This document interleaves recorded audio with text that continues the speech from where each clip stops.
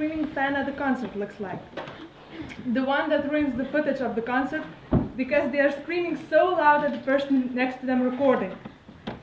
Well, you're looking at one of them. I am a proud member of fandom.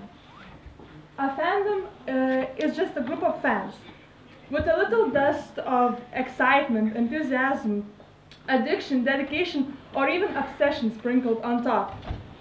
And there are millions of fandoms in the world surrounding books, book characters, TV stars, uh, TV shows, and those are mentioned here are just the tip of the iceberg.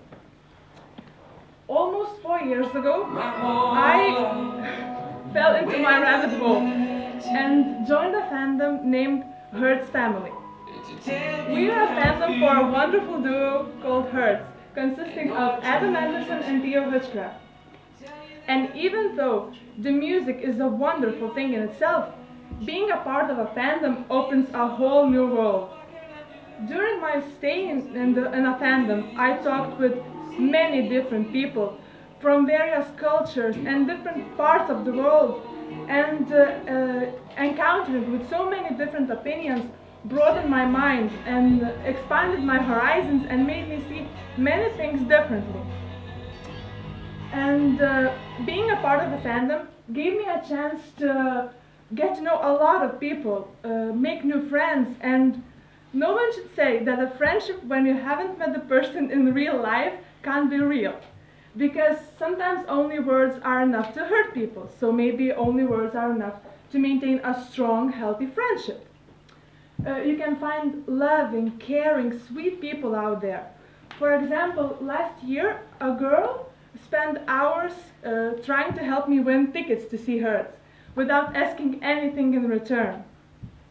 And uh, when you join a fandom, you re realize that there are no time zones in fandoms.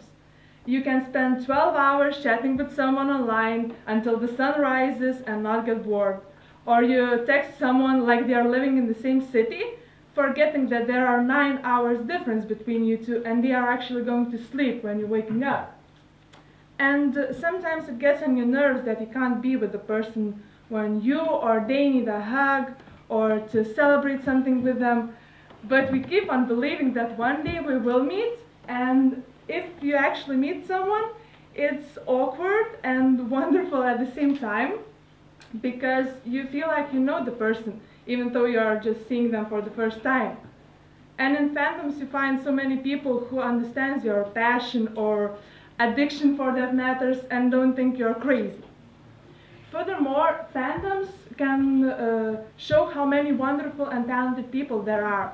People who taught themselves how to draw, write, edit, and you can search online for thousands of fan fictions, fan edits, or uh, fan art, and see how many wonderful things people create. And when you put your own work uh, in a fandom and you get the encouragement back or constructive criticism, it helps you improve and uh, uh, continue to do what you love doing. And um, however, in no way I'm implying that fandoms are perfect and hate-free zones, because just as we celebrate, get happy, excited together, we also argue, name call, get frustrated and annoyed, and um, but you find so many different people uh, out there in the world, and uh, fandoms are no different. Uh, but now uh, I consider myself having two families. The one I was born in and the one I found myself. And the Stitch from Lilo and Stitch said, This is my family. I found it all on my own. It's small and broken, but still good. Yeah, it's still good. And I am proud of my family, because I know Hurts are proud of us too.